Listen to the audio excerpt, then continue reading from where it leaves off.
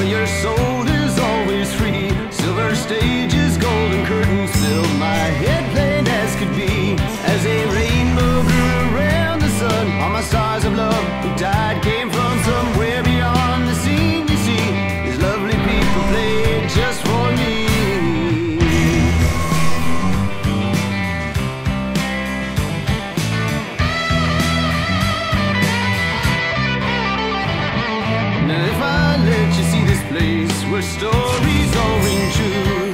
Will you let me past your face to see?